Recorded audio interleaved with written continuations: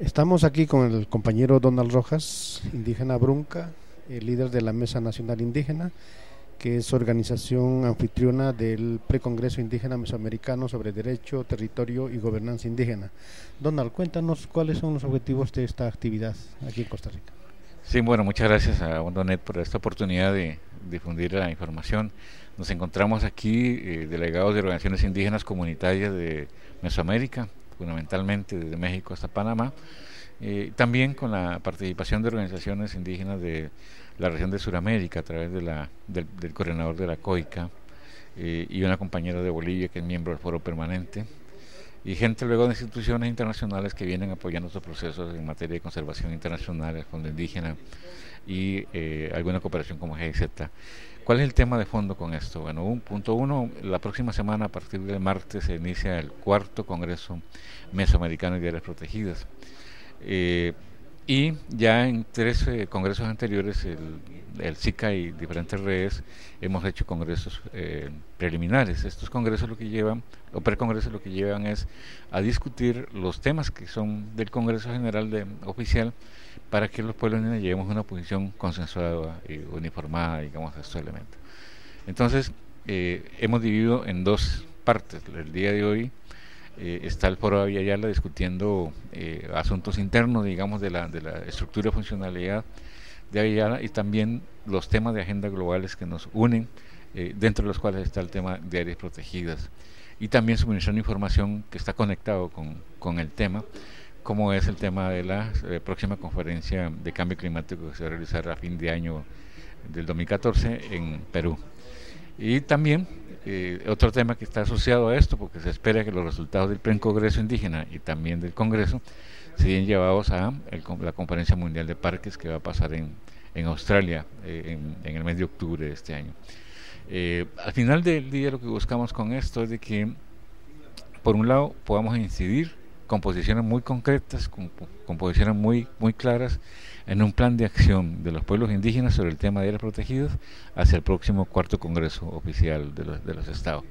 Pero además podamos, en segundo lugar, eh, que estos planteamientos también puedan ser elevados a la cumbre, a la Conferencia Mundial de Parques de Australia. Entonces son dos aspectos ahí. Y luego vienen aspectos operativos, que es lo que buscamos también con el plan de acción. ¿Cuáles son los aspectos operativos? Bueno, que hasta el momento los indígenas hemos dicho, eh, los estados, los gobiernos han establecido áreas protegidas, en muchos casos sobre los territorios indígenas, y sin ninguna consulta, sin ningún reconocimiento de uso y manejo de estos territorios. Entonces, en ese sentido lo estamos planteando. Uno, cómo crear mecanismos de, diálogo entre el más alto nivel, entre, los, entre el gobierno y los pueblos indígenas, para revisar estos casos de, de, donde hay áreas protegidas con territorios indígenas o que son o que son fronterizos, ¿no? Y el segundo lugar es crear una categoría, que eso ya desde el Congreso pasado lo, lo aprobamos y que posiblemente aquí se va, se va a darle eh, continuidad, crear una nueva categoría de áreas protegidas indígenas. Pero esta tendría otra concepción, otra forma de, de ver por qué. Para nosotros el área protegida no es un área aislada de no usarlo, sino que es todo lo contrario, es una interacción activa entre la comunidad, el bosque, los diferentes recursos que tienen esto, y que está demostrado que los pueblos indígenas históricamente lo han hecho así, y que el bosque se mantiene y sus recursos también. Pero, y la tercera cosa que muestra es que hay áreas eh, que no están en los territorios indígenas, que son reconocidos en este momento, pero que son de uso tradicional, ¿verdad? En donde, eh, eh, pero que son vitales para la comunidad. como, son, como somos costarricenses, pero también eso pasa en otros países, eh, por ejemplo, el pueblo de Brunca eh, no tiene acceso al mar en este momento, pero su cultura se nutre de ir cada año a, una, a la costa del Pacífico, ¿verdad? Para sacar una, hacer un evento que es la, la extracción de, una tinta de un molusco, eh, que, sea, que es sostenible porque no se mata el molusco, sino que se deja ahí mismo en la roca, y eso está ahí, que históricamente se ha hecho. Sin embargo, estas áreas ahora son o privadas o están en un parque nacional. Y esto entonces ya hay un problema, digamos, de relaciones que queremos como encontrar soluciones al mismo. En torno a los congresos pasados, como este ya es el cuarto, digamos, ¿cuál ha sido las propuestas, una evolución de las propuestas del primero al cuarto congreso Han, han, ido superándose, digamos, ciertas, ciertos elementos. En las primeras, pues fue una declaración general donde trataba de entenderse, digamos, esa relación En el segundo congreso eh, se avanza más, en primer lugar, en una mayor participación, digamos, de, organizaciones indígenas y una posible apertura, digamos, del Estado con una presentación, digamos, de, las organizaciones indígenas en el, en el proceso. Y en el tercero, que fue en México, ya ahí hubo un cambio, porque entonces ya para el cuarto, para el, tercer congreso se logró un acuerdo con los estados, eh, se, se, logró que eh, paralelamente en las, en las mismas, eh, en el marco del, del, tercer congreso de áreas protegidas, hubieran eventos mismos donde los indígenas llegaban a hacer los planteamientos de esto. Entonces ahí ya se logró incluir y salieron salió un planteamiento ya mucho más, más específico sobre esas diferencias de la propuesta indígena sobre cómo vemos nosotros el tema de áreas protegidas, cómo debe ser ese proceso y sobre todo para el uso y manejo de los recursos y el tema de gobernanza en, los, en las áreas protegidas. Perfecto. Precisamente sobre el tema de gobernanza, uno, el simposio 1 del Congreso Mesoamericano de, Áreas Protegidas tiene que ver sobre la relación entre gobernanza y áreas protegidas, recursos naturales. Al respecto, ¿cuál ¿cómo están visualizando los indígenas el tema de gobernanza y áreas protegidas? Efectivamente, hay, eh, eh, digamos, dos, dos, eh, dos aspectos que se tienen que revisar. Punto uno, de las áreas protegidas que ya están establecidas, que están con territorios indígenas o que están coordinando con territorios indígenas, la propuesta es de que se establezcan comisiones de más alto nivel de coadministración de esas áreas, que le permitan a los pueblos indígenas ingresar y hacer otros niveles, digamos, de participación en las decisiones sobre ese tema.